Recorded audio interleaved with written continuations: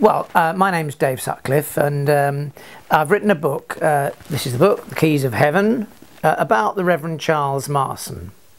He was the vicar of Hambridge um, in the Edwardian times. Um, and I live near Taunton. Hambridge is only four four miles away, and I became really interested in this remarkable man. Um, he's perhaps best known because he uh, was a friend of Cecil Sharp. Um, he invited Cecil Sharp down uh, from London to Somerset to record and publish folk songs from Somerset, and that started the English folk revival in 1903.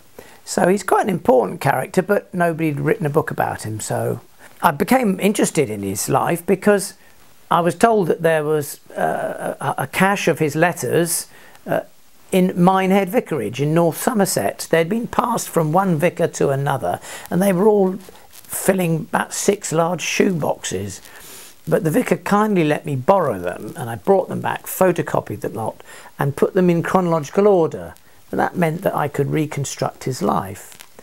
And it was wonderful. Um, uh, here are some of the letters here. I was able to, you know, read his handwriting, look at his little jokes and cartoons, um, and catch his train of thought. Really, if you like social history, you'll you'll really like this book.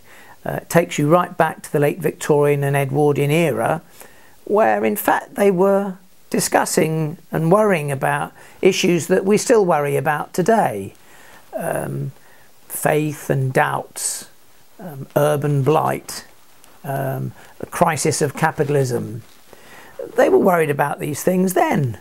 Banking, it's all in the book.